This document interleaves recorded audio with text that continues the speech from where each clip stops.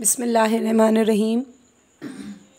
Assalamu alaikum dear students of class 7th. Today is our lecture number 7 related your mathematics books और आज हम अपने math की इस किताब में से जो चैप्टर नंबर वन है, उसकी एक्सरसाइज नंबर 1.3 करेंगे। उससे पहले मैं इसका इंट्रोडक्शन दूँगी कि इसके अंदर इस एक्सरसाइज में हमने कौन कौन से टॉपिक करने हैं। सबसे पहले हमें मालूम होना चाहिए कि डिस और ओवरलैपिंग क्या है। At page number nine dis जो आज हमारा टॉपिक है disjoint and overlapping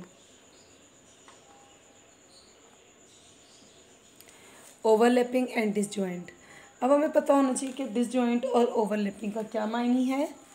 अब हम देखते हैं कि डिसजॉइंट में क्या बताया है। Two sides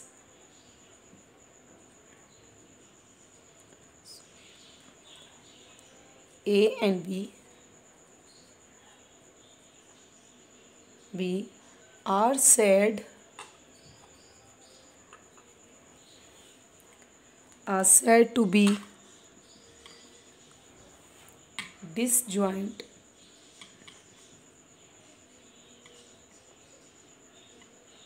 अब डिस ज्वाइंट है if there is no common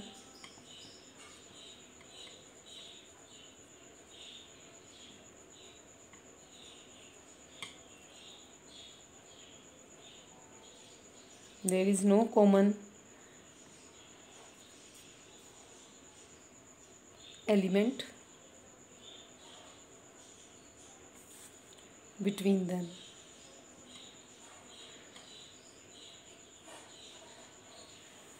इसके बाद हम देखते हैं एक मिसाल लेते हैं इसको समझने के लिए। हमारे पास एक सेट ए है, जो कि जिसके अरकान हैं या एलिमेंट्स हैं वन टू थ्री इसके साथ ही एक सेट बी है। जिसके एलिमेंट्स हैं बेटे? Four, five and six. अब इन दोनों में डिसजॉइंट कैसे होगा? क्योंकि इसमें there is no common element in set A and set B अब ए सेट में देखिए मेंबर्स हैं वन टू थ्री और बी सेट के हैं फोर फाइव सिक्स तो ये हमारे पास क्या कहलाएँगे? डिस ज्वाइंट क्यों? क्योंकि एक भी मेंबर एक दूसरे से मिलता जुलता नहीं है। इस पूरे सेट में ए में और सेट बी में कोई भी मेंबर ए सेट और बी सेट का आपस में मिलता जुलता या कॉमन नहीं है। इसके बाद अगला टॉपिक जो है वो हमारा ओवरलैपिंग का है।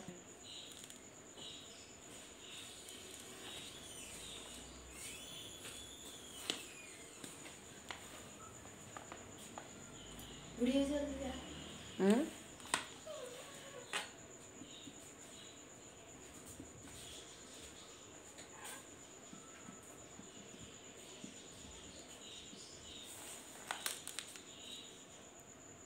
जी स्टूडेंट, आज हम जो करने जा रहे हैं वो है exercise one point three page number one page number हमारे पास है इसका नाइन और इसकी प्रॉब्लम नंबर वन है। इसमें हम देखते हैं पहला सवाल क्या है। Look at the each of the pair of set to separate the disjoint and overlapping set अब हमारे पास इसमें एक पहला क्वेश्चन का पहला पार्ट है, जिसमें हमारे पास एक ए सेट है और उन्होंने पूछा, ये डिस्टॉइंट है या ओवरलैप है? इसके एलिमेंट्स हैं A B C D and E ठीक है?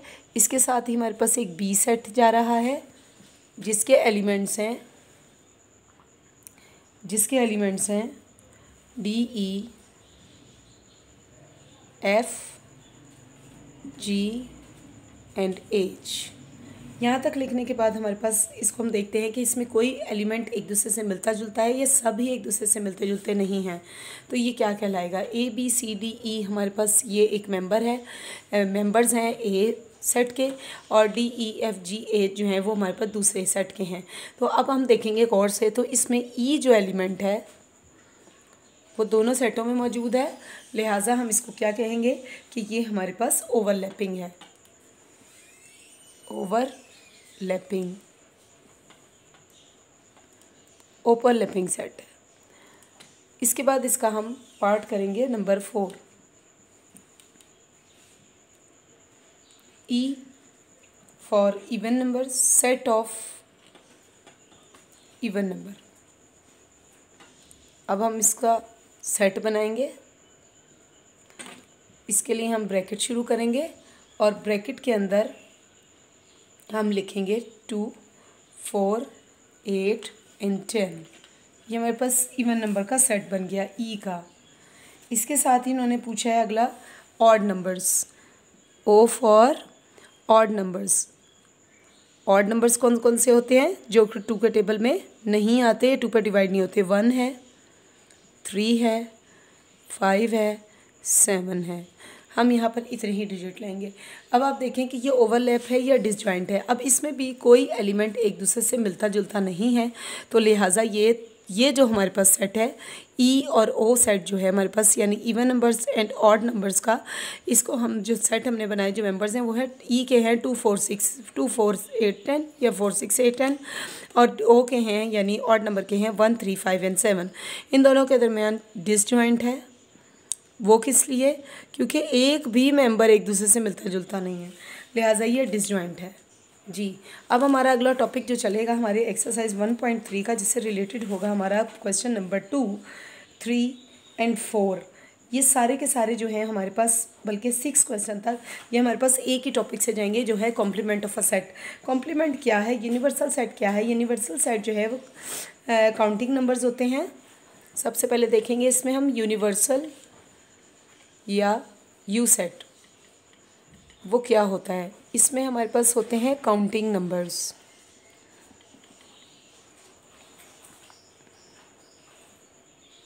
जी स्टूडेंट यहाँ तक काउंटिंग नंबर्स हैं। हमें मालूम है कि काउंटिंग नंबर्स हो सकते हैं। One two three four five and so on जारी रहेंगे। सो so ऑन का मतलब होता है जारी रहना। इसके बाद आ जाता है हमारे पास कॉम्प्लीमेंट जो असल टॉपिक है। कॉम्प्लीमेंट ऑफ़ आ सेट अब सेट का कॉम्प्लीमेंट क्या होता है? इसको किससे डिनोट किया जाता है? यूनिवर्सल सेट यू जो होता है, अगर एक सेट का सेट बी है, उसके साथ सेट यू का हम यूनिवर्सल को कंपेयर करेंगे तो difference between the difference between the A और बी विद यू यानी यू के साथ अगर हम ए या बी सेट का डिफरेंस निकालते हैं, इसको हम लिख सकते हैं यू माइनस ए या यू माइनस बी तो हमारे पास ये क्या कहलाता है बेटा? कॉम्प्लीमेंट और इसको हम बी डैश से या बी सी से भी रिप्रेजेंट करते हैं। सी फॉर कॉम्प्लीमेंट और इसको बी डैश इसको बी डैश भी बोलते हैं या सी कॉम्प्लीमेंट भी बोलते हैं। यू माइनस बी को इस तरह भी लिख सकते हैं और इस तरह भी लिख सकते हैं। इसके लिए हम एक मिसाल देखते हैं। एक सेट हम यहाँ ले लेते हैं यूनिवर्सल सेट इफ़ यू हमारे पास हो जाए बेटा, एक, दो, तीन और ये दस तक, ठीक है? One two three to ten अब इसके बाद हमारे पास हमारे पास एक सेट बी हो। बी सेट हो। तो ये जो बी सेट है हमारे पास, वो क्या कहलाएगा?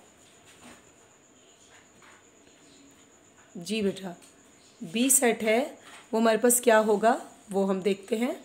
हमारे पास एक यूनिवर्सल सेट है, जो कि मुश्तमिल है, एक, दो, तीन, चार से दस तक। और बी सेट है हमारे पास। हमने इसमें क्या फाइंड करना है?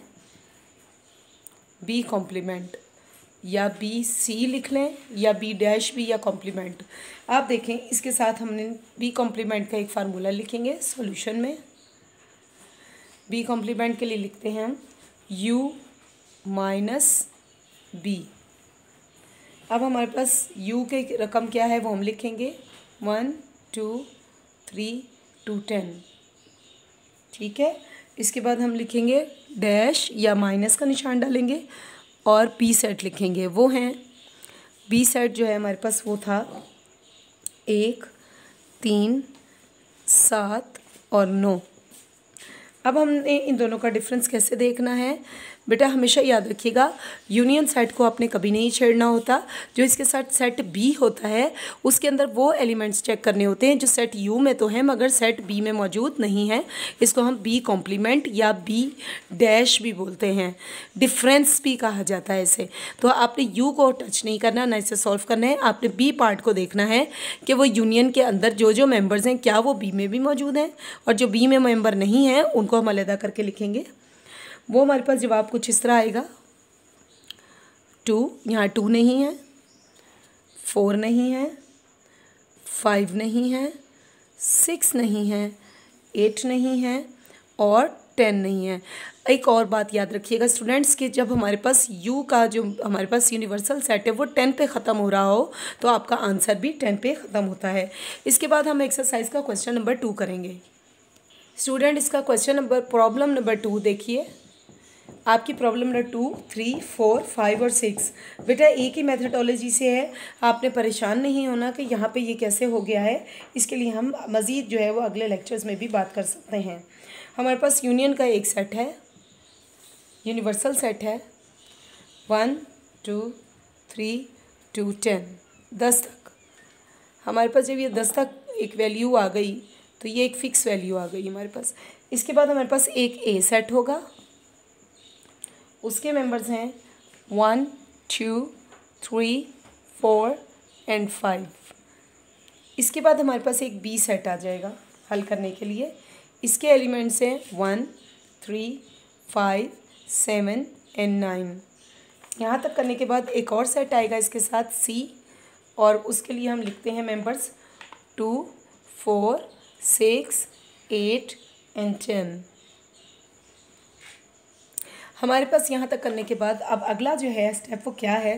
पहला देखें इसका पार्ट जो पूछा गया है वो है ए कॉम्प्लीमेंट ए कॉम्प्लीमेंट का मतलब क्या हुआ कि इसके अंदर क्या फार्मूला लगेगा? यू माइनस ए अब हमने सबसे पहले सेट ए को यूनिवर्सल सेट के साथ कंपेयर करना है।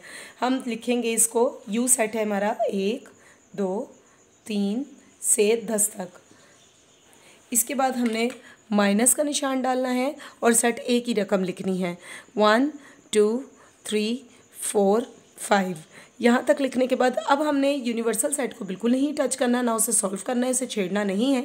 आपने कंपेयर करना है जो हमारे पास सेट ए है कि जो मेंबर्स हमारे सेट यूनिवर्सल सेट में हैं, क्या वही मेंबर्स हमारे पास इस ए सेट में हैं? जो जो चीज़ें हमारे पास ए सेट में मौजूद नहीं है, इसके अकॉर्डिंग यूनिवर्सल सेट के अकॉर्डिंग वो वो हमने निकाल के यहाँ पर जवाब में लिख लेनी है। तो अब हमारे पास जो जवाब आएगा हमारे पास देखें, इसमें भी वन है, इसमें भी वन है, इसमें भी टू इसमें भी टू इसमें भी थ्री इसमें भी थ्री इसमें फोर है फाइव है। लेकिन सिक्स नहीं है सेवन नहीं है एट नहीं है नाइन नहीं है और टेन नहीं है। लिहाजा हमारे पास ये आंसर ए कॉम्प्लीमेंट का आएगा। Six seven eight nine ten जो इस सेट पे मौजूद मेंबर्स नहीं हैं, हमने वो रख दिए हैं, यहाँ पे लिख दिए हैं, जो कि इस यूनिवर्सल सेट के अकॉर्डिंग हैं। तो स्टूडेंट्स उम्मीद है कि आज का लेक्चर आपको मुकम्मल तौर पे समझ में आ गया होगा। अब आपको इस सबक से मुतालिक कोई भी सवाल पूछना हो तो आप हमें कमेंट्स में अपने क्वेश्चन आंसर भेज सकते हैं आंसर क्वेश्चन भी भेज सकते हैं। हम आपको आंसरिंग करने के लिए यहाँ लेक्चर नंबर एट के लिए बैठे हैं। इसके अलावा बेल आइकन की बटन को दबाना ना भूलिएगा।